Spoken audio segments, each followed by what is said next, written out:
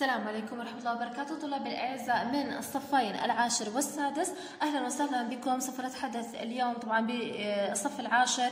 لدينا Action Pack unit 7 and 8 الوحدة السابعة والثامنة من منهاجكم الأكشن أما بالنسبة للصف السادس فرح نحكي آه، بالوحدة 12 إذا إحنا يا سادس بالوحدة 12 رح نحكي اليوم عن إشي اسمه defining and non-defining relative clauses إذا رح نحكي عن defining and non-defining relative clauses. هي عبارة عن جمل الوصل المعرفة وغير المعرفة.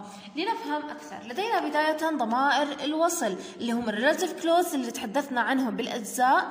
آه، مثال على ذلك where, who, which, when, وهم طيب إمتى هدول relative clauses هدول ضمائر الوصل اللي حكينا عنهم. إمتى بعتبرهم defining إنهم معرفين. وإمتى مس بعتبرهم إنهم non defining يعني غير معرفين.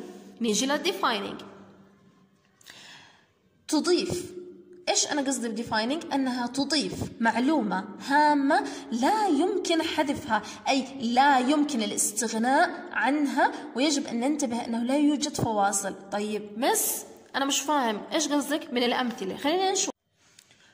We helped the boy who couldn't find his bag. إحنا ساعدنا الولد اللي ما قدر إنه يلاقي حقيبته. طيب إذا بدي أحذف هذا المقطع. يلا.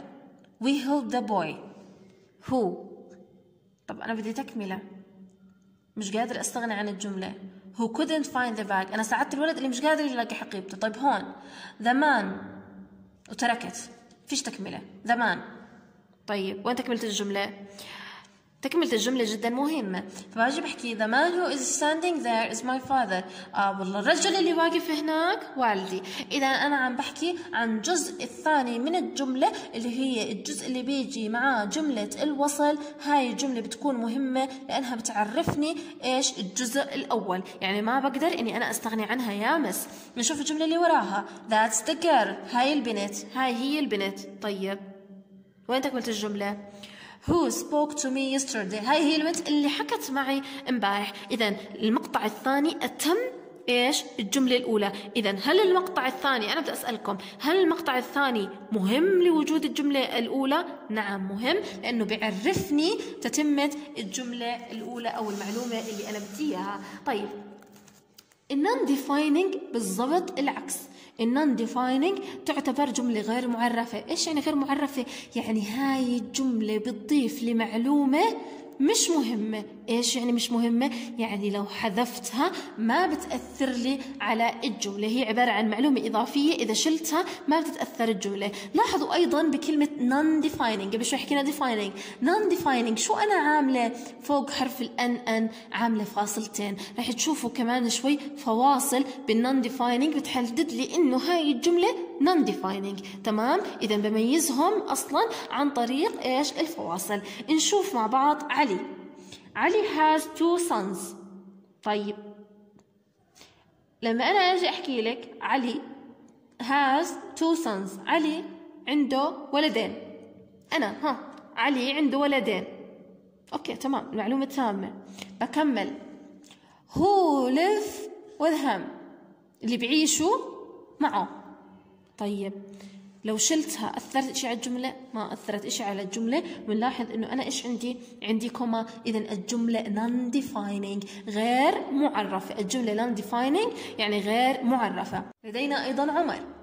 عمر who lives in the USA is the hero of the play. تمام. عمر لاحظوا. بعد عمر فاصلة. Who lives هي relative pronouns.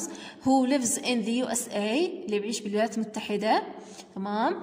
آه وهي فاصلة ثانية تمام. إذا عمر اللي بيعيش بالولايات المتحدة هو بطل ال آه ال play المسرحية. أوكي. طيب شو عندنا؟ إذا شلنا who lives in the USA خلينا نشيلها مع بعض. ها. عمر is the hero of the play. انتهت الجملة. الجملة واضحة. الجملة تعتبر غير معرفة. لما شلت هذا الجزء مفهومة. إذا لما أجي أحكي عمر is the hero of the play. عمر هو بطل المسرحية تمام؟ إذا الجملة مالها تامة. ضفت عليها معلومة عمر اللي عايش بالولايات المتحدة هو بطل المسرحية أيضا المعلومة مالها برضه آه، تامة. إذا هاي المعلومة غير مهمة فبيمكن إن أنا أشيلها فتعتبر جملة non defining وبنلاحظ زي ما حكينا وجود الكوماز عمان which is a big city is the capital of Jordan. عمان هي comma هي comma. عمان اللي هي مدينة كبيرة تعتبر عاصمة عم... عاصمة الأردن صح؟